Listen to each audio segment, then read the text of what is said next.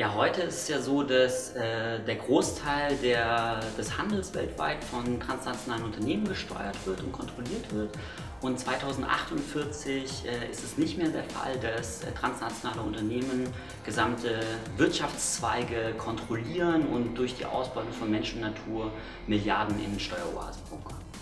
Was es 2048 nicht mehr gibt, ist zum Beispiel Institutionen wie Weltbank, Internationale Währungsfonds, Welthandelsorganisationen, alle sind auf äh, Kolonialismus und koloniale Strukturen zurückzuführen und sie sind jetzt immer noch prägend für den Welthandel und äh, sie wären 2048 nicht mehr da.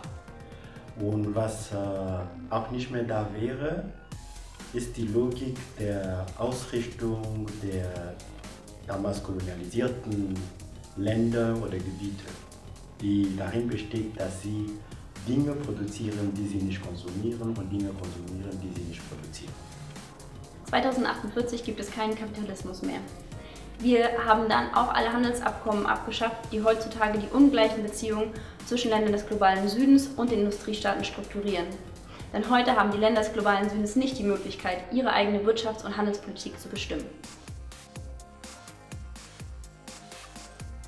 Ich freue mich auf ein Leben im Staat der Kommunen, wo die Menschen zusammenkommen in ihrer Nachbarschaft und gemeinsam Dinge des täglichen Lebens produzieren, wo sie aktiv teilhaben können an dieser Produktion, an den Entscheidungen darüber, was, wie, wo, wann produziert wird und in den Austausch zu treten, auch mit anderen gleichgesinnten Produktionseinheiten.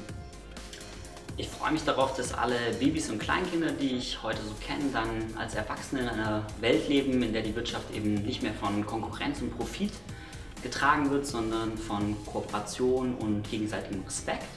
Und das würde heißen, dass äh, diese Erwachsenen dann ganz selbstverständlich eben nicht mehr in Supermärkte gehen und nicht mehr wissen, woher sie eigentlich Lebensmittel bekommen, sondern beispielsweise ihr Olivenöl von Ökobauernkooperativen aus Griechenland beziehen oder Schokolade bekommen von einem Commons-Netzwerk aus Ghana.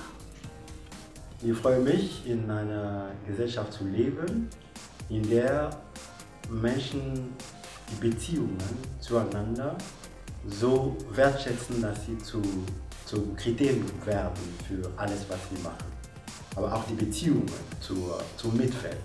Und für den Handel bedeutet das, dass äh, nicht Profitmaximierung im Vordergrund steht, sondern die Möglichkeit für Handel, Leben zu ermöglichen in einem bestimmten Raum. Einer der wichtigsten Schritte ist, dass die Bewegung, die Klimabewegung, die Gewerkschaften, auch die globalisierungskritische Bewegung stärker zusammenarbeiten.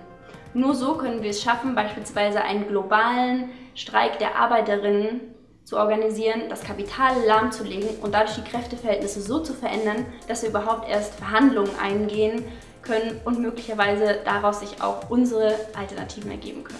Die wichtigsten Schritte dahin sind äh, auf verschiedenen Ebenen äh, einzuordnen. Die erste Ebene ist äh, die des Bewusstseinswandels. Das heißt, jetzt schon muss es in allen Institutionen, ob in äh, religiösen Institutionen, in wissenschaftlichen Institutionen, in Politik, Wert darauf gelegt werden, dass äh, Menschen sich anders verstehen, anders definieren. Wegkommen vom Konsumismus, von äh, äh, der Verherrlichung von äh, materiellem Reichtum und so weiter und so fort. Der nächste Schritt wäre, auf institutioneller Ebene ähm, Maßnahmen zu treffen, die dafür sorgen, dass die Akteure, die jetzt äh, operieren, zum Beispiel im Bereich Handel, äh, Kriterien unterzogen werden, die, ihnen, die sie zwingt, umzusteuern. Und äh, der letzte Schritt wäre, dass äh, diese Umsteuerung tatsächlich so äh, stattfindet, dass äh, Leben in kleinen Gemeinschaften, die sich gegenseitig ergänzen, äh, möglich ist. So eine Transformation liegt ja irgendwo zwischen Reform und Revolution. Und ich würde sagen, um nur zwei Beispiele zu nennen, dass eine wichtige Reform im internationalen Handel ein internationaler Vertrag wäre, in dem Menschenrechte und Naturrechte ganz, ganz selbstverständlich über Investorenrechten stehen.